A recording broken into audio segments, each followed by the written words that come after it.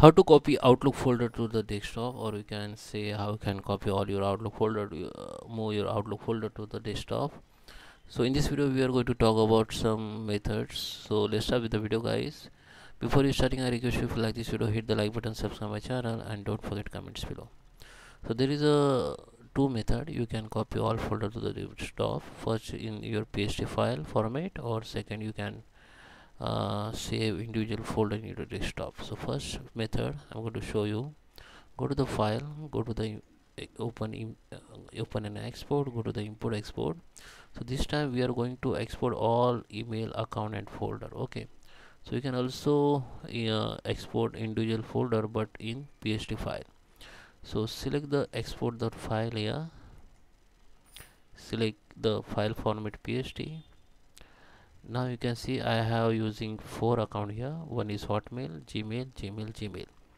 So I want to save all emails or backup the folders or email data of this account. So I can select hold account and include the subfolder. This account and include all folder will be include. But if you want to uh, get the uh, any particular folder backup just select the folder if this folder has some subfolder like this then click on include subfolder or you can select the individual folder. Or if you want to hold account folder just select the account only just click on next. Okay this is so by default this is pst file will be create but you can create the your new pst file. You can rename anything just click on ok now you can use the option click finish you can put the password but if you don't want to put the password just click on ok. Then this pst file which is say on the location which you have uh, select. Now this pst file you can import in the new computer or new outlook when you require. So it is like backup guys but in pst format. So it is backupping all email now. Okay so when you uh, switch your computer or account you can this backup this pst file in your uh, new account or new outlook. Go to the open and export. This time we, we need to import that file. So click on import. Saying pst file because we have in pst file only.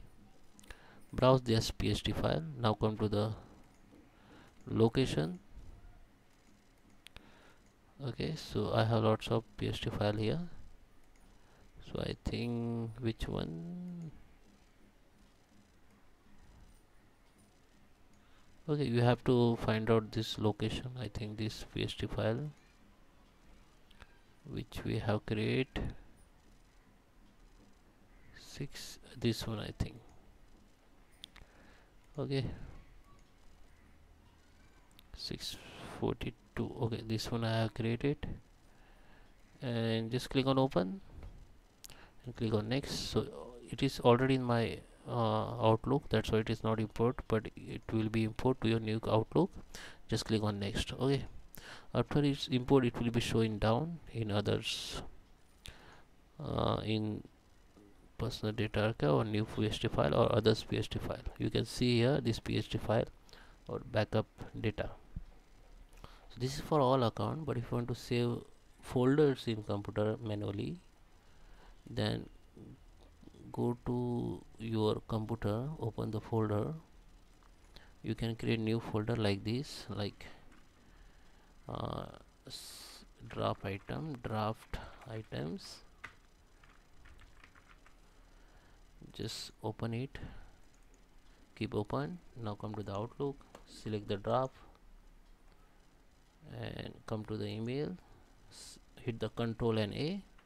All email will be select. Just click on it anywhere. Hold it. Just drag to the folder. So this is folder I have created. So you can see all draft email come to the this folder only.